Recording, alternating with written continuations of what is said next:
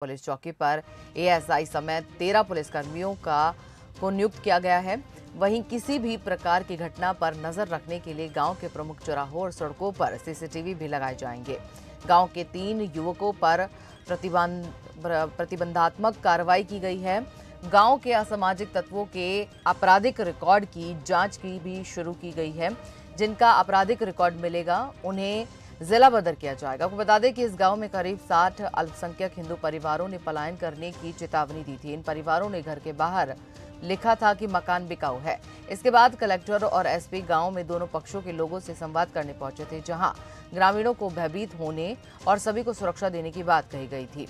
और इसके बाद तत्काल गाँव में तेरह पुलिसकर्मियों की तैनाती के साथ अस्थायी पुलिस चौकी शुरू कर दी गई थी। वहीं आपराधिक तत्वों और शासकीय ज़मीन पर अतिक्रमण के मामले में कार्रवाई के लिए कलेक्टर ने एक महीने की समय सीमा तय की है। इस पूरी घटना पर सरकार ने सख्त एक्शन लेने की बात कही है। गृह मंत्री नरोत्तम मिश्रा ने कहा कि सौहार्द बिगाड़ने वालों के खिलाफ सख्त कार्रवाई की जाएगी। इनका जो अपेक्षाएँ हैं, पुलिस पुलिस तत्काल खड़े नहीं उतर पाती है, लेकिन फिर भी बताना चाहूँगा मैं कि इसमें पुलिस ने पिछले दिनों भी जब इस तरह का विवाद सामने आया था तो दोनों ही तरफ़ से जो भी न्यूसेंस करने वाले लोग थे, लगभग दस, बारह बारह लोग, दोनों ही समाज के लोगों को बाउंडवर की कार्रवाई की गई थी।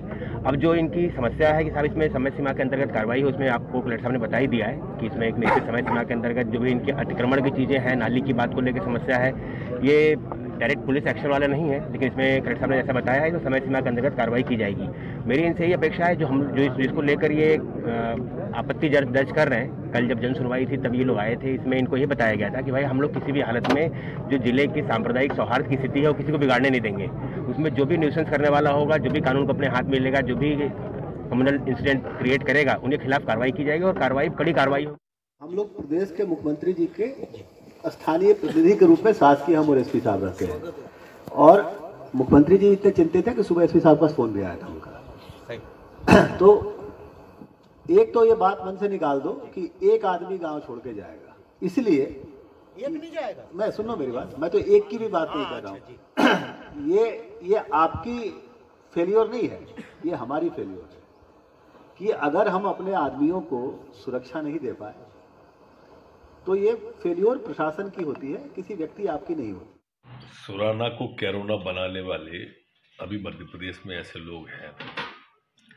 और मध्य प्रदेश में भारतीय जनता पार्टी की सरकार है शिवराज सिंह का शासन है। किसी में हिम्मत नहीं है कि कैरोना बना दे सुराना को। महज भ्रम की स्थिति में ये स्थिति निर्मित हुई है। विषय जैसे ही संज्ञान में आया, तत्काल कलेक्टर एसपी को मौके पे भेजा। एक अस्थाई पुलिस चौकी का वहाँ निर्माण कर दिया। दस लोग मैं सब इंस्पेक्टर के उसमें रहेंगे। गाँव के अंदर अवैध अतिक्रमण की जो समस्या है, नाली के पानियों की, बहुत छोटी छोटी चीज़ें हैं। नाली का पानी इधर क्यों आ रहा, उधर क्यों जा रहा है? पूरा एक महीने के अंदर सफ़ाई हो जाएगी, सब ठीक हो जाएगा। दोनों समाज के लोगों को मिला के एक समिति बना दी है, जिस एच रहेंगे। दोनों समाज के दो दो लोग रहेंगे। तो आपको बता दें कि आपको ये गाँव का विवाद क्या है? तो दो समुदाय हैं जिनके बीच में ये पूरा विवाद है। सुराना गाँव के अल्पसंख्यक परिवारों ने गाँव छोड़ने की चेतावनी दी है। करीब साठ हिंदू परिवारों ने घर के बाहर मकान बेचने की बात लिखी है। सुराना के साठ हिंदू परिवारों ने दीवार पर लिख दिया है कि यहाँ से जो हम घर छोड़ना चाहते हैं, ये मकान बिकाऊ है। और इस पूरी खबर पर हमारे संवाददाता दलजीत जुड़ गए हैं। उनसे हम ज़्यादा जानकारी लेते हैं और पूछते हैं कि अभी वहाँ पर कैसे हालात हैं और आखिर इतना ये मामला कैसे बढ़ गया क्योंकि बीच बिचाव में शासन प्रशासन को आना पड़ा। हमें पूरी जो बात है पूरी तफसील से समझाइए। देखिए शायद जैसा कि मैं आपको बता दूँ, ये मामला जो है एक छोटे से विवाद से स्टार्ट हुआ, जिसके बाद में एक समुदाय द्वारा कलेक्टर को ज्ञापन दिया गया और अपने पलायन की बात बताई गई, जिसके बाद प्रशासन हरकत में आया और सोशल मीडिया के माध्यम से इस बात को इतना तूल मिलता गया कि यह बात देश एक गाँव से निकल के शहर नहीं, शहर से पूरे देश में फैल गई। जहाँ तक है प्रशासन ने हस्तक्षेप करने के बाद में वहाँ पर समझाइश भी दी थी, वहाँ पर बैठा के दोनों पक्षों को समझाया था कि जो भी विवाद है उसको समाप्त कर लिया जाए, इस तरह के पलायन से कोई वो नहीं होगा। और उसके बाद में जब गृह मंत्री ने प्रशासन को सख्त कदम उठाने के निर्देश दिए तो अब वहाँ पर पुलिस चौकी खोल दी गई है। दोनों ही समुदाय के लोगों की एक समिति बना के वहाँ पर उनमें मध्यस्थता और आपसी भाईचारे से रहने की के लिए उन अ, से अनुरोध भी किया गया है और अभी स्थिति जो है धीरे धीरे सामान्य होती नज़र आ रही है। प्रशासन ने जो असामाजिक तत्व थे जो वहाँ पर मिस गाइड कर रहे थे या कोई भी तरह के विवाद क्रिएट करने वाले थे उनके खिलाफ सख्त कार्रवाई करने की शुरुआत कर दी है। वहाँ पर अतिक्रमण मुक्त किया जा रहा है। जहाँ भी है, जल्द से जल्द इस, जो भी प्रकरण है, उसको समाप्त किया जाए, इसके पहल की जा रही है। तो खुद गृह मंत्री इस पूरे गाँव के ऊपर अपनी नज़र बनाए हुए हैं। पल पल की वो अपडेट ले रहे हैं जिला प्रशासन के अधिकारियों से। दलजीत एक चीज़ और बताइए कि अभी पता लगा है कि आ, कोई वहाँ पर कार्रवाई भी हुई है कोई अवैध अतिक्रमण था उसको भी तोड़ा गया है। इसके अलावा जब वहाँ पर दोनों वर्गों के लोगों को बिठाया गया फिर वहाँ पर दोनों वर्गों की एक कमेटी भी गठित हुई है। इसको लेकर क्या कुछ जानकारी देंगे आप? गाँव के अंदर जिन लोगों के ऊपर तीन से अधिक प्रकरण थे जो गंभीर अपराध थे उनको जिला प्रदर की कार्रवाई की गई है। साथ ही जो वहाँ पर ऐसे अपराधी जिन्होंने अवैध रूप से जमीनों पर कब्जा करना या फिर उन्होंने अप, अपने जो वर्चस्व दिखाते हुए कब्जे करने थे उनके भी अतिक्रमण प्रशासन ने सख्ती से तोड़ा है।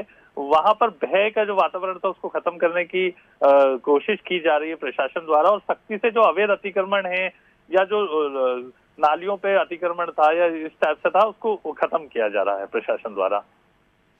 जी दिलजीत आपका धन्यवाद। और हम आपको लगातार बता रहे हैं कि सुराना के अंदर किस तरह से शासन प्रशासन ने बीच बचाव करते हुए वहाँ पर अभी कुछ एक समुदाय के लोगों को गाँव छोड़ने के लिए साफ़ मना कर दिया है और ये साफ़ गृह मंत्री का भी कहना है कि कोरोना बनने नहीं देंगे सुराना को। तो रतलाम ज़िले के सुराना गाँव में एक पक्ष की ओर से दूसरे समुदाय के द्वारा परेशान करने और इससे मजबूर होकर गाँव से पलायन करने की शिकायत के बाद जिला प्रशासन में हड़कंप रहा।